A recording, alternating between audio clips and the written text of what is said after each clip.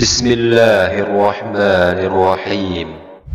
Kitab ini di seluruh dunia Katolik yang punya yang kanonisasi. Ini banyak mereka nggak mengerti sejarah. Kalau cuman bisa ngambil dari jemaat, jangan deh. Yang tulis itu para rasul dan disalin oleh jemaat-jemaat. Jadi kalau cuma datang pungut itu jangan mengaku-mengaku deh.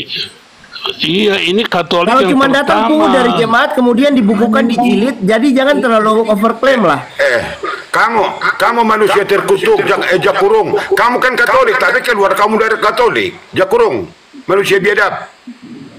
Kamu kan dari Katolik dulu, tapi kamu keluar. Iya, Gimana kamu jadi manusia sekarang, terkutuk? ah, sekarang kembuan. Iya, sekarang, kenapa kamu keluar? organ- Kenapa kamu keluar dari Katolik? Kalau memang itu bisa kau rasakan, bisa kau mana? Kan, kamu kan bukan Katolik lagi sekarang, tapi awalmu dari Katolik kau manusia laknat. Oh, ya, Kamu katakan jangan Yesus pakai Kristus. Yesus kau, jangan pakai Yesus Iya. kan kalau Jadi mengapa jangan kamu pakai mengaku? Dan kamu siapa? Bapak. Berdasarkan apa kamu datang bicara? Kamu pakai aja Tuhan-Tuhan agama lain Bukan. kan. Iya, jadi kenapa kamu mengaku Kristen kamu sementara Yesus 50 yang kamu katakan tadi? Manusia terkutuk, manusia comberan. Itulah saya heran juga Pak Kembuan nih kadang-kadang nih, kadang-kadang kadang-kadang. Masalah kalian itu susah dikasih tahu, mengerti tapi berusaha tidak mengerti. Itu Bukan, persoalan. tapi kau salah narasinya. Masa kau bilang Tuhan Yesus agamanya kri, Iya, apa Katolik? Kau kau yang benar aja lah Petrus benar.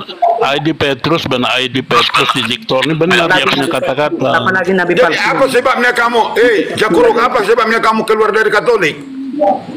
Ini Nabi ini kan jelas Kamu kan keluar dari Jangan Katolik. serang pribadi, jangan serang pribadi. Kan pribadi, kamu kan muncul yang itu yang dia ngomong yang bahwa, bahwa dia katakan itu. dari titik Yesus. Nabi palsu. Siapa yang keluar dari Kan kamu yang katakan Itu yang tadi, kamu yang katakan tadi bahwa Aduh, kau ini Yesus macam itu adalah fiktif, kamu katakan tadi Yesus fiktif, tapi kamu keluar dari Katolik. Sekarang posisimu di mana? Oh, si Rawung, si Kembuan. Mm-mm, si pemegang Kembuan itu kan Dia surga. siper. Dia ini ini Bang Bang. Bang Luga, dia nih dia bilang dia yang pegang kunci kerajaan surga. Jadi dia anaknya Bapak. Kalau Iya, kalau yang bikin yang kita bikin harus harap maklum. Bukan, Katolik. manusia terkutuk, manusia terkutuk kau. Manusia dulu. Ah, hancur loh. Diajar sama si Pipo. Kamu maka kamu mengatakan Ah, Yesus 50 di iya. Alkitab, tapi kamu menguraikan di dalam Alkitab. Pak Vivo Eh, yang Luga terkutuk. dan si uh, Pak Luga semuanya Manusia di sini pakai kau Yesus manusia Kristus terkutuk, tidak harus bermoral. beli beli patung beli patung Kamu dua biji sebenarnya dulu bisa di, ya pakai bisa patung. dipenjarakan kamu, bisa dipenjarakan kamu. Kamu katakan Bisa, dia di. Alkitab 50. Kita laporin polisi aja yuk si si Kembuan yuk biar dimasukin ke Ya penjara. kalau kalian mau bikin laporan silakan saya enggak mau bikin laporan. Yang mau merasa tersinggung mau bikin laporan Ada- silakan. saya pakai dalil kita Matius 6 ayat 9. lanjut kepada tema ya. Apakah teman-teman di keluar Katolik itu mempercayai bahwa Yesus itu agamanya Katolik? Tidak, ada tidak. Yesus agama Tidak. Katolik. Sekarang siapa yang bilang Yesus Katolik? Kacau kau. Di sampingmu itu yang namanya Petrus itu yang yang namanya Petrus itu dia Ah, Yesus ketempeleng pala kau. Katolik, Katolik. Katolik udah mau bangkrut. Oh, Yesus itu agamanya Protestan ya? Jumlahnya cuma 6 juta doang di Indonesia nggak bisa Keren uh, berkembang. Petrus. Keren pertanyaan. Petrus. Agama Yesus Katolik. itu Tuhan. Itu Katolik Iya. yang bikin tuh Eh, Katolik tapi Bang kasihan. Luga jangan salah, dia sudah invest loh. Dia sudah invest di Kalimantan loh. Ada mau dibangun kompleks eh, perumahan ibadah yang paling besar situ gereja Katolik loh. Dia udah invest. Ya memang kalau Katolik memang di Kalimantan gede. Nanti dana saya cair mau saya sapu bersih, mau pindahin ke laut bisa, Katolik. lu kagak ada tanah di sana bang. Oke. Iya. oke. Siapa bilang? Eh kacau kau. Sekarang kita Lah, tanah lu mana? Di situ sudah ada- ada blu- blueprintnya tuh. Eh, Pak menjelaskan kan seorang Katolik. Masing Pak sama Prabowo menjelaskan tanahnya paling gede Americano di situ tanahnya gede. Iya, tahu. Tapi Yesus maksudnya tanah lu di mana? Itu masalahnya. Lu mau cari Yesus tanah di mana? agamanya Protestan.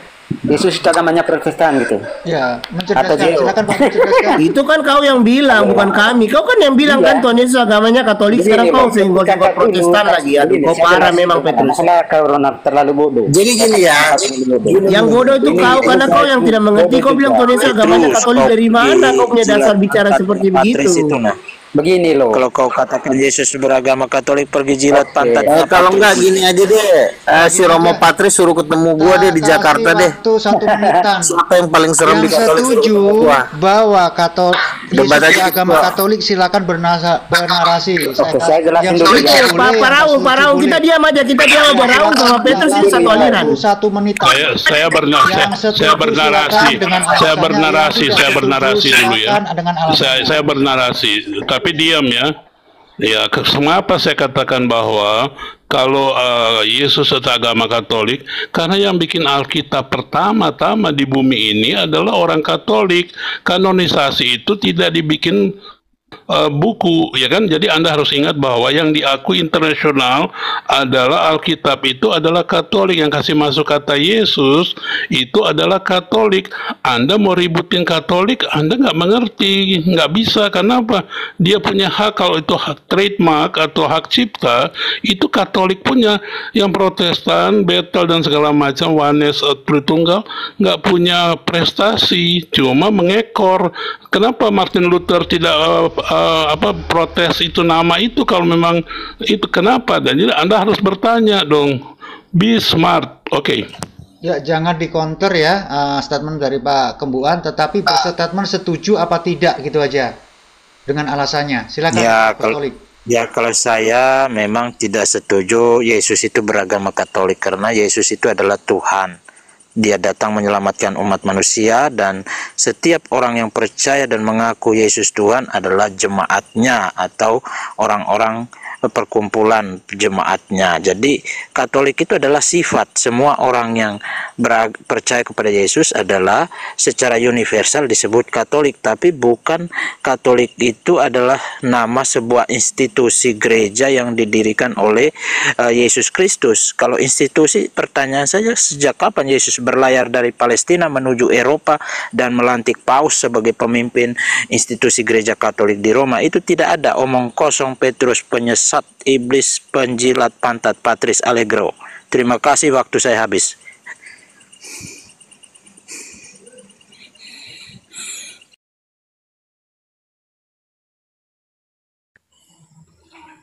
Silakan, alasannya apa? Petrus Anda kata ya Petrus Anda katakan di agama di zaman Yesus tidak ada. Memang belum agama dan Yesus bukan agama Katolik. Yesus bukan membawa agama, menyelamatkan manusia dari dosa. Orang Kristen di Antioquia menjadi lambang satu pengikut Kristus. Itu jadi dibawakan menjadi Kristen, pengikut Yesus. Kalau kamu katakan jadi Yesus itu Katolik, dasar dari mana? Katolik ada baru berada menyembah Tuhan dengan cara dengan cara kumpulan mulai tahun 331. Tahun 335 resmi dia kerjasama dengan Konstantin. Mulai orang beribadah pada hari Minggu tahun 331 di dunia ini yang beribadah pada hari Minggu itu dari Katolik. Diresmikan tahun 335 secara cari. Tidak pernah orang berhari Minggu sebelumnya. Biar kamu tahu sejarah Katolik. Oke. Kalau memang Katolik itu hebat, ya, kenapa jumlah Katolik tetap minoritas? Sudah lama sudah menguasai uh, mayoritas di Indonesia. Bukan Katolik, itu orang-orang kami, orang-orang karismatik. Jadi nggak usah kita menceritakan masa lalu kami hebat. Memang kalian gereja besar di masa lalu. Tapi untuk zaman sekarang kalian hanya tinggal kerangka. Kalian bukan siapa-siapa ya. Gak usah banyak ngomong. Muslim aja gue sikat apalagi lu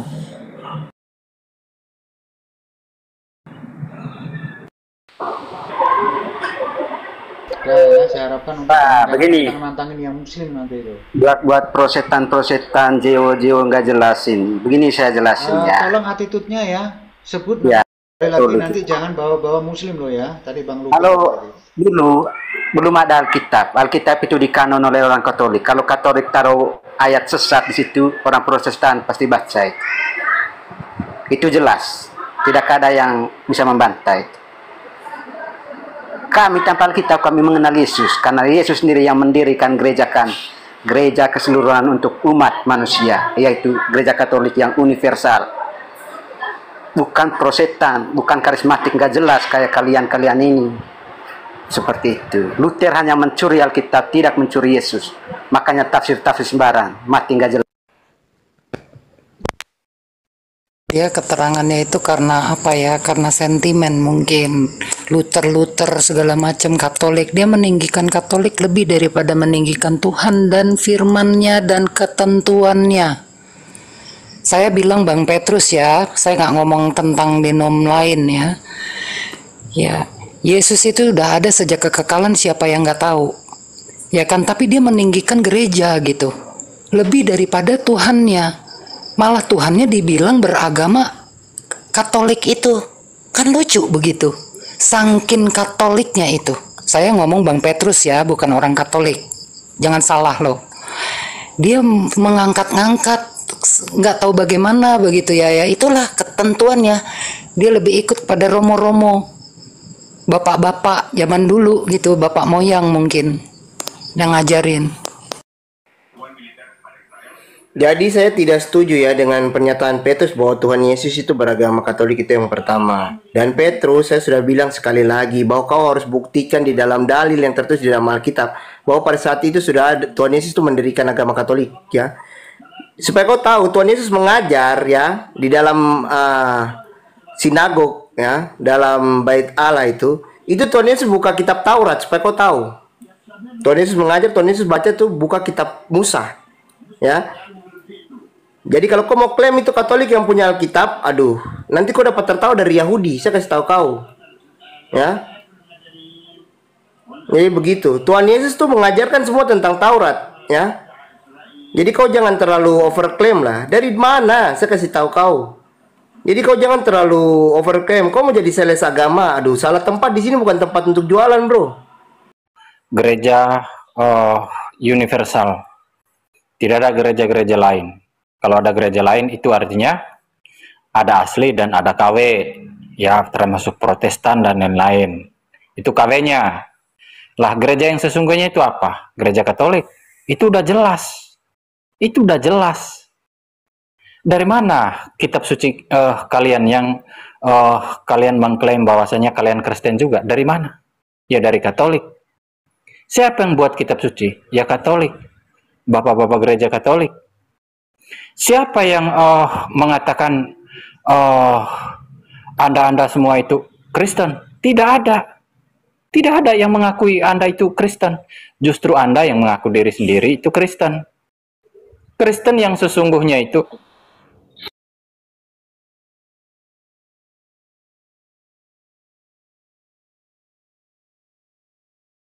Ya, silakan Pak Kebuan sekarang jadi sekali lagi ini mencerdaskan dan uh, ID Petrus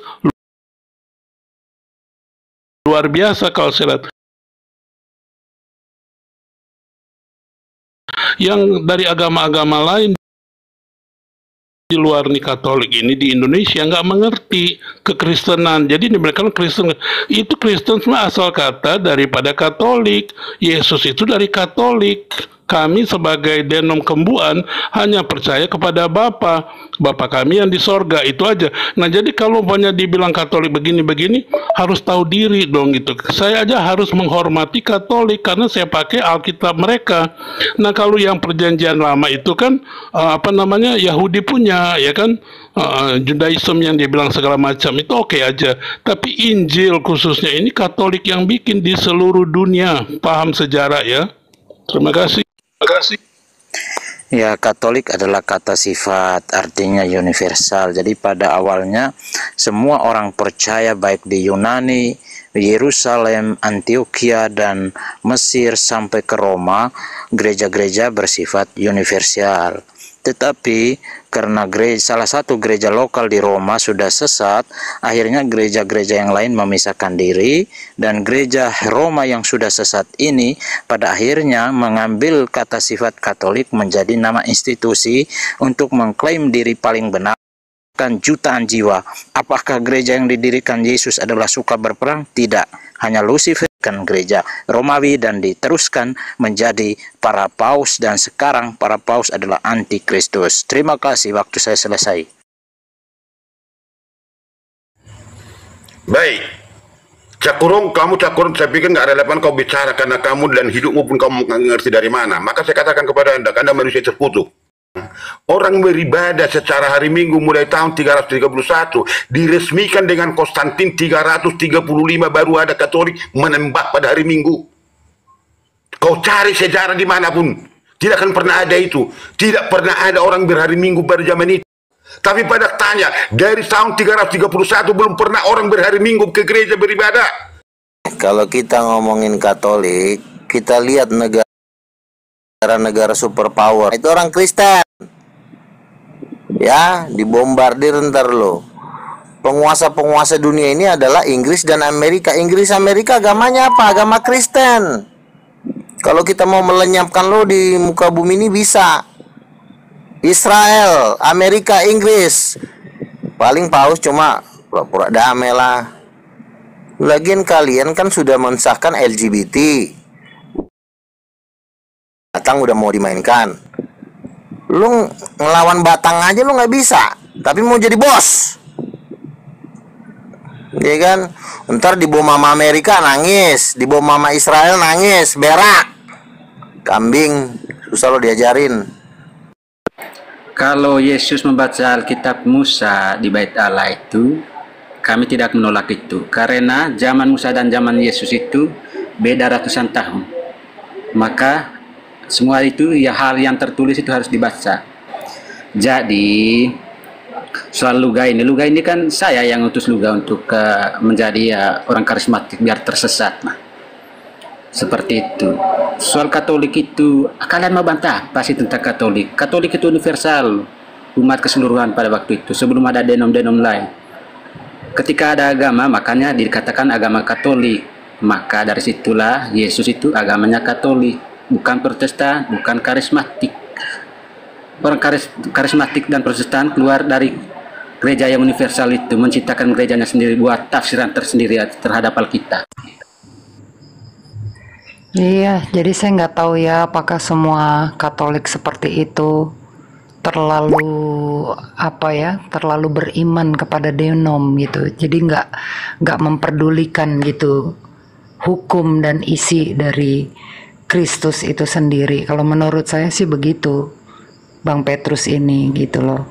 Kalau kamu sentimen sama Martin Luther lah siapa ya, bapak-bapak zaman dulu gitu ya, kamu buka, kamu lihat kenapa gitu jangankan Bapak Luther zaman dulu saya juga bisa gitu saya juga bersedia melakukan protes kenapa karena kekejian kan begitu itu aja coba introspeksi diri benar nggak iman kamu begitu gitu loh Kristen apa bukan seperti itu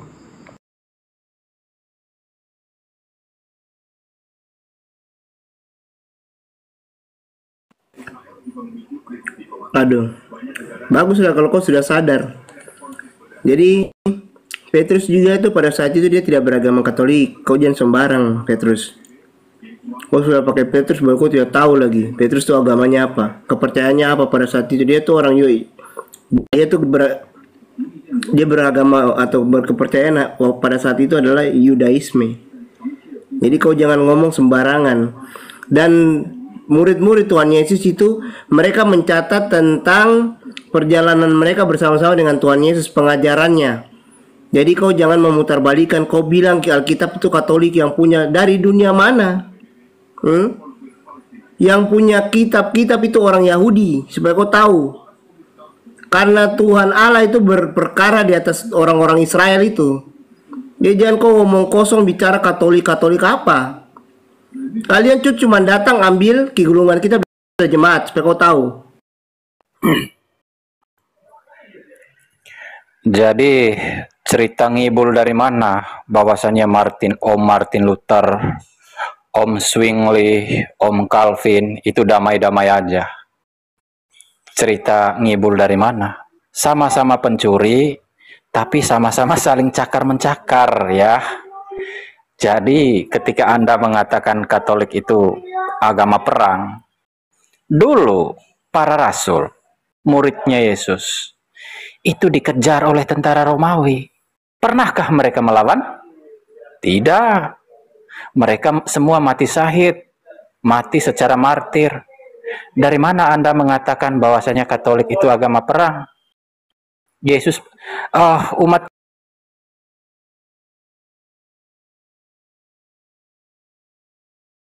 Katolik menuliskan apa? Gigi jangan diganti gigi, mata jangan diganti mata. Lah kamu oh, belajar kepada Om Om Swingli, Calvin yang Ya, jadi saya salut ya, terima kasih kepada Katolik. Saya juga kalau ada kekurangan Katolik juga kita hanya diskusikan. Jadi kalau si Bapak Nabi itu bilang katanya agama terbesar di dunia ini adalah Katolik. Jadi wawasannya harus internasional ya itu Bapak Nabi nggak jelas itu. Jadi sekali lagi Katolik yang terbesar ya kan? Di Indonesia saja yang paling itu kan. Nah sekali lagi dan itu seperti mencerdaskan dan mencuri Tuhan-Tuhannya orang Katolik dan itu Alkitab ini menurut uh, Pak Ronald Alkitab itu yang mengkanonisasi adalah rasul-rasul. Tapi yang membukukan Alkitab ini adalah Katolik saya setuju kalau itu bilang bahwa perjanjian lama itu adalah Judaism atau apalah Israel apa mesianik atau apa itu dengan dia tidak pakai kata Yesus dia pakai kata Yesua dan Yahweh Elohim dan segala macam. Sama seperti Yesus memilih 12 para rasul namun satu rasul itu dirasuk oleh setan yaitu Yudas Iskariot. Begitu juga gereja-gereja pada abad pertama ada banyak gereja dari Alexandria Mesir sampai Roma tapi ada satu gereja yang uh, dimasuki oleh Lucifer dan menguasai namanya gereja Roma Katolik sehingga semua gereja-gereja yang lain memisahkan diri dan keluar dan untuk membenarkan dirinya gereja Roma ini mengambil kata sifat Katolik menjadi di nama institusi gerejanya. Tetapi puji Tuhan, ada orang-orang Katolik yang eh, di gereja Roma ini baik, namanya Martin Luther, dia keluar dan meluruskan kembali ajaran dan memberontak kepada Lucifer tersebut. Jadi Katolik adalah kata sifat, tetapi ada satu gereja di Roma dikuasai oleh Lucifer dan gereja itu menamakan dirinya Katolik yang awalnya kata sifat menjadi nama institusi. Terima kasih, waktu saya sudah selesai, habis. Di atas batu karang inilah saya dirikan jemaat kata Yesus kepada Petrus. Dengan makna di atas Yesus semua yang beriman buatlah berkumpul. Bukan berarti pernah Yesus membuat agama Katolik atau gereja Katolik. Tidak pernah ada. Tidak pernah ada itu bro. Petrus. Mencerdaskan tidak pernah ada itu. Dan itu makna, maka diambillah itu dari Alkitab itu, dari kisah itu, dari ayat itu. Maka dibuatlah gereja Santo Thomas, gereja Yohanes, gereja Petrus, semua dialihkan di sana dari kata-kata batu karang. Itu sebabnya gereja Katolik tidak dilapisi, hanya nampak batunya. Yang dibangun itu batu, batu, batu, supaya lambang itu adalah batu. Sampai sekarang di ini gereja Katolik khususnya ke seluruhnya mungkin di Indonesia tidak dilapisi. Itu makna di dalam batu. Bukan berarti agama Katolik Yesus. Supaya kamu memahami cara sederhana agama Katolik.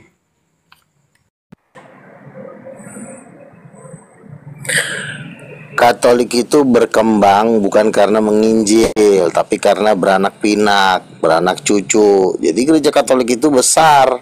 Besar jumlahnya besar tenaganya nggak ada. Contoh Brazil itu negara termiskin. Argentina itu negara termiskin. Lihat banyak kumuh di sana. Tapi lo lihat orang Kristen Amerika Inggris Jerman itu negara-negara paling ngeri di dunia Kenapa? Karena Tuhan bersama mereka. Jumlah boleh banyak, ya. Tapi itu juga dulu. Sekarang udah yang memenangkan ada udah orang Kristen. Karena yang menginjil ke seluruh dunia itu banyak kan penginjil-penginjil dari Kristen. Orang Katolik mana pernah nginjil? Paus saja disembah-sembah. Ya, bikin mujizat gak bisa, bikin kesembuhan gak bisa, tapi masih mengaku paling ngeri di Indonesia. Kan saya sudah bilang, Katolik itu bukan penginjil. Kenapa bukan penginjil? Karena tulisan para rasul pada waktu itu kami simpan di dalam peti karena Yesus sendiri yang membangunkan gereja Katolik. Itu ceritanya. Kami tidak baca lagi tentang Injil itu. Tanpa Injil kami tetap mengenal Yesus Kristus melalui Petrus. Petrus itu murid Yesus itu sendiri. Dia Paus pertama itu. Makanya setelah Injil itu dikanonisasi atau tulisan-tulisan para rasul itu dikanonisasi, akhirnya Luther mencuri Alkitab itu. Kenapa Luther mencuri Alkitab itu? Karena Luther mau mendirikan gereja sendiri, keluar dari gereja yang universal itu yang dibangun oleh Yesus. Akhirnya umat-umat Luther ini membuat penafsiran sendiri terhadap Alkitab itu. Akhirnya muncullah denom-denom baru nggak jelas, JO karismatik, prosetan-prosetan itu. Seperti itu ceritanya. Iya, gereja Protestan itu di Jerman, ya, itu patung Martin Luther itu sangat besar itu saudara-saudara. Di mana Martin Luther itu memegang apa namanya itu, uh, memegang kekuasaan pada saat itu ya. Jadi patungnya pun dibuat sampai sekarang disembah oleh Protestan, itulah bapak mereka, bukan Petrus lagi. Ya, Anda mengatakan uh, gereja-gereja lain berpisah dari Katolik Roma. Berarti ini membenarkan ya bahwasannya dulunya gereja itu cuma satu, terus mendirikan gereja-gereja yang lain. Itu gereja setan. Ya gereja tetap gereja setan, tetaplah gereja setan.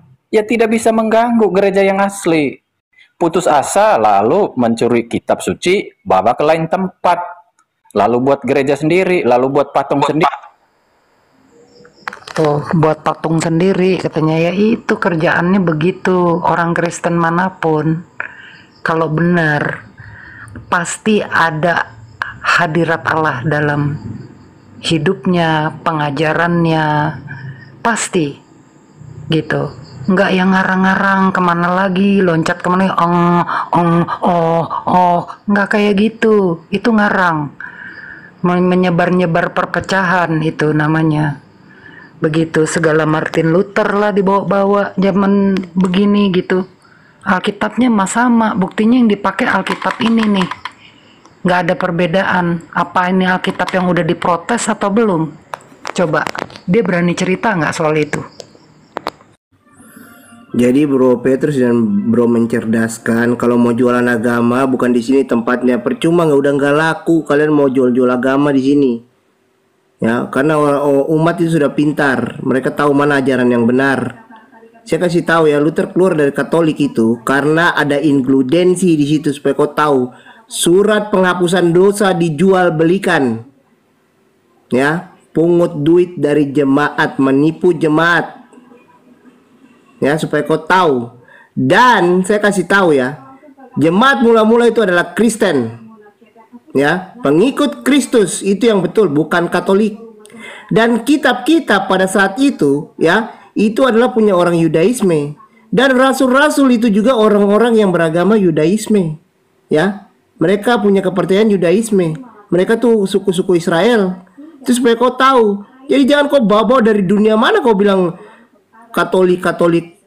Kalau ngomong jangan sembarang lah. Jadi gereja Roma Katolik itu adalah kapan murid-murid Yesus mencatat tentang ajaran Katolik Kapan kau bilang katanya, kau bilang katanya Bagus, di zaman bagus, ada bagus, orang bagus. baiknya Luther. Kau Mengajarkan tentang ajaran Katolik. Wow, wow, wow, wow, wow, wow, wow, wow, perang wow, salib Wow, wow, wow, perang wow, salib wow, wow, wow, mana wow, ya wow, Roma wow. Katolik Sebentar dari sentimen banget. Wow, wow, wow, wow, wow, wow. Hmm, Satu-satu. Alkitab yang Kristen dari Ortodoks diserang dan dibunuh oleh Roma Katolik. Betul Roma Katolik itu. pimpin perang salib. Betul. Jadi agama perang itu, agama Memang- Lucifer, Roma Katolik itu. Hmm, bukan Katolik, ka- gereja setan karena membantah. Katolik. Protestan ini keluarnya melawan gereja setan dari dibunuh. Gereja setan di Amerika, di Eropa. Hukum salib itu yang punya mana ya? iya. Yang menjatuhkan hukuman mati di salib itu orang mana itu Bang Apostik? yang suka berperang. Iya, Bang itu Apostik, Bang apostolik, Apostik. ya betul. Aduh Raung kau diam dulu lah, kau tuh cuma jadi provokatif Enggak kau diam aja. ngau, ngau, ngau, semua ngau, ngau, gitu tuh. Sekarang saya mau tanya Bang Apostik, Bang Apostik tolong kasih tahu kah? Rasul-rasul disalib ya? Ada yang dipenggal juga, benar ya? Nah, apostolik jawab. Itu, itu hukuman dari mana itu? Desme, kau dengar dulu. Imperium mana itu? Imperium mana Bang Apostik? Itu Roma, Roma, Roma Oh iya Katolik. betul Roma lah Katolik. itulah. Aduh, Roma ketahuan Katolik ini deh. Oh, Roma jutaan Katolik abad jiwa keberapa? Agus? Muslim, Kristen Ortodoks, perang salib dia komando.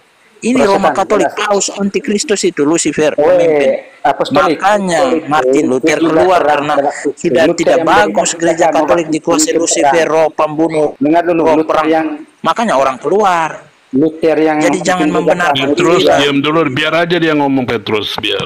begini. Jangan membenarkan diri. Gereja Roma Katolik itu adalah gereja setan Lucifer. Sudah bekerja, suka membunuh orang, berperang, membunuh Kristen Ortodoks, membunuh umat-umat Islam, dia komando perang salib dan lain sebagainya. Bukan Betul perang itu. pemerintah lagi. Gereja Roma yang yang komando, paus yang komando atas Betul. nama perang suci agama. Jadi itu Betul. Roma Katolik itu gereja perang, gereja Lucifer. Makanya orang-orang keluar memprotes dan di orang-orang yang protes itu pun dibakar, dihukum mati dan lain sebagainya. Itu bukan ajaran Kristus, Penjajah, bukan penjajah, betul ajaran itu, betul Yesus. itu, penjajah. Itu ajaran Lucifer. Mereka datang menjajah, mereka datang diri. menjajah, abad Israel. keberapa? Yang awalnya abad adalah keberapa kata itu? sifat kalian ambil menjadikan Bangkit, nama institusi gereja Roma Katolik. Jadi jelas ya, dulu, gereja dulu. Katolik itu adalah gereja sesat. Lucifer kalian semua ke neraka kalau tidak bertobat. Kalau tidak keluar dari Katolik masih menyembah patung, nerakalah tempatmu Petrus. Makanya banyak orang Manggarai sekarang. Petrus orang Manggarai sekarang. Anda orang Manggarai, saya orang Mamere. Lah, Orang. Manggarai sekarang sudah juga banyak ya. keluar dari Katolik karena mereka Saya sadar. Saya Manggarai. Sama mereka. Iya, saya Mamere. jelas. Orang Manggarai sekarang banyak keluar kok dari Katolik. Saya tahu bang.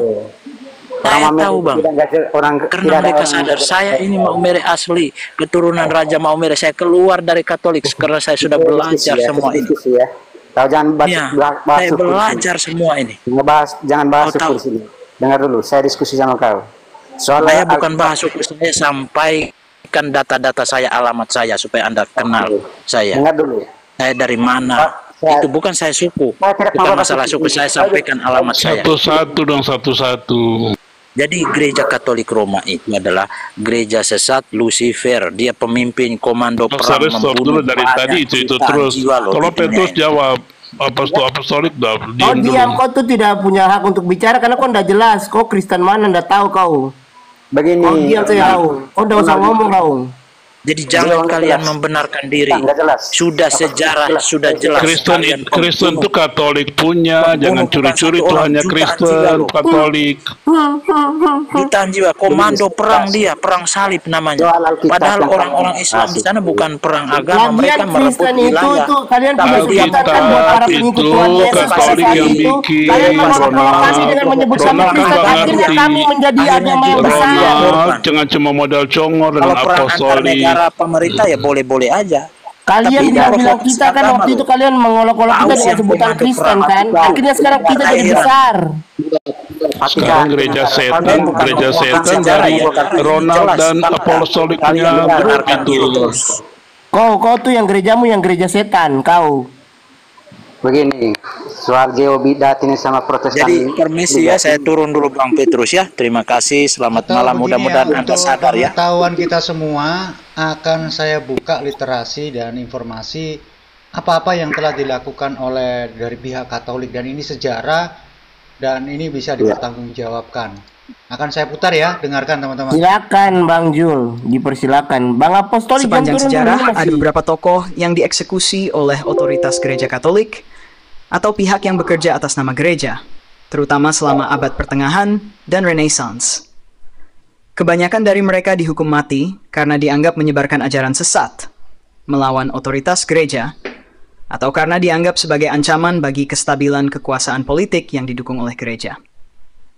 Berikut adalah beberapa tokoh yang dieksekusi oleh atau terkait dengan gereja Katolik. Satu Giordano Bruno, libro 1948 sin Mamsabov.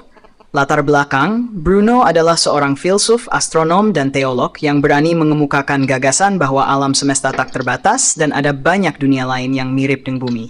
Bruno juga memiliki pandangan teologis yang menyimpang dari ajaran Katolik. Alasan eksekusi Pandangan Bruno dianggap sebagai ajaran sesat oleh gereja Katolik. Ia menyangkal beberapa doktrin dasar seperti Trinitas, perawan Maria, dan dogma lainnya. Cara eksekusi, ia dihukum mati dengan cara dibakar hidup-hidup oleh Inkuisisi Roma pada tahun 1914 di Campo de Fiori, Roma. Kedua, Jan Hus, eh, latar belakang. Jan Hus adalah seorang reformis agama dari Bohemia yang mengkritik penyalahgunaan kekuasaan dan korupsi di dalam gereja Katolik, mirip dengan apa yang dilakukan oleh John Wycliffe di Inggris. Alasan eksekusi Hus menentang beberapa praktik gereja, termasuk penjualan indulgensi dan kekayaan berlebihan para imam. Pandangannya dianggap sebagai ancaman bagi otoritas gereja. Cara eksekusi ia dibakar hidup-hidup setelah dihukum oleh Konsili Konstans pada tahun 1919, meskipun dia awalnya diberikan jaminan keamanan untuk hadir di konsili tersebut. Main plus. Latar belakang Tyndale adalah seorang sarjana Inggris yang menerjemahkan Alkitab ke dalam bahasa Inggris agar lebih banyak orang bisa membacanya. Tindakannya dianggap kontroversial karena pada saat itu gereja Katolik hanya mengizinkan Alkitab dalam bahasa Latin. Alasan eksekusi Tyndale dianggap sebagai pemberontak oleh otoritas gereja karena menerjemahkan Alkitab tanpa izin dan karena pandangan teologisnya yang mendukung reformasi protestan. Cara eksekusi ia dieksekusi dengan cara dicekik dan kemudian dibakar pada tahun 1906 di Belgia. Jacques de Molay, zoverdwas pemategia C314. Jacques de Molay adalah Grand Master terakhir dari Ksatria Templar, sebuah ordo militer religius yang kaya raya dan berpengaruh. Pada awal abad ke-16, Raja Fath dari Prancis dengan dukungan Paus Clement Vas menindaklanjuti ordo ini karena mereka dianggap terlalu kuat dan kaya. Alasan eksekusi, Demolay ditangkap, diinterogasi, dan akhirnya dituduh melakukan ajaran sesat. Tuduhan ini sebagian besar berhubungan dengan motivasi politik dan keuangan Raja Philip. Cara eksekusi Ia dibakar hidup-hidup pada tahun 1916 setelah pengadilan inkuisisi memutuskan bahwa ia bersalah atas tuduhan tersebut. Michael Servetus, sisi latar belakang. Servetus adalah seorang teolog, ilmuwan, dan dokter Spanyol yang mengkritik doktrin Trinitas dalam gereja Katolik dan memiliki pandangan yang tidak sejalan dengan para reformator Protestan seperti John Calvin. Alasan eksekusi Setelah melarikan diri dari Inkuisisi Katolik, ia akhirnya ditangkap di Jenewa dan dieksekusi oleh otoritas Calvinis karena pandangan teologisnya. Kasusnya menunjukkan bahwa baik gereja Katolik maupun pihak Protestan dapat menindak pandangan yang dianggap sesat. Cara eksekusi. Ia dibakar hidup-hidup di Jenewa pada tahun 1953. 6 Marguerite Porete 50 10. Latar belakang. Marguerite Porete adalah seorang mistikus dan penulis dari Prancis. Ia menulis sebuah buku berjudul Mirror of Simple Souls yang menjelaskan ajaran mistis tentang cinta dan hubungan langsung dengan Tuhan tanpa perlu perantaraan gereja. Alasan eksekusi. Buku dan ajaran Marguerite dianggap sesat oleh otoritas gereja karena menantang otoritas gereja Katolik dan mendukung gagasan hubungan langsung antara individu dan Tuhan tanpa hierarki gereja. Cara eksekusi ia dibakar hidup-hidup di Paris pada tahun 1910 setelah menolak untuk menarik kembali ajaran-ajarannya. 7. Peter of Bryce? What? Latar belakang Peter of Bryce adalah seorang tokoh yang memimpin gerakan Petrobrusian yang menolak berbagai ajaran dan praktik gereja Katolik, termasuk pembaptisan bayi, pemujaan salib, dan perayaan misa. Alasan eksekusi Ia dianggap sebagai heretik bidat oleh gereja karena menentang ajaran-ajaran resmi. Gerakannya menantang kekuasaan gereja dan mendapatkan banyak pengikut. Cara eksekusi Ia dibunuh oleh masa yang marah pada tahun 1901 ia dianggap sebagai ancaman terhadap stabilitas keagamaan yang dijaga oleh otoritas gereja. Kesimpulan Eksekusi terhadap tokoh-tokoh ini terjadi dalam konteks sejarah ketika otoritas gereja dan otoritas politik sering kali bekerja sama untuk mempertahankan tatanan yang ada dan menekan segala bentuk perbedaan atau pemberontakan yang dianggap dapat merusak stabilitas dan kekuasaan mereka. Tuduhan ajaran sesat atau heresy sering kali menjadi dasar untuk menindaklanjuti orang-orang yang memiliki pandangan berbeda atau mencoba melakukan reformasi.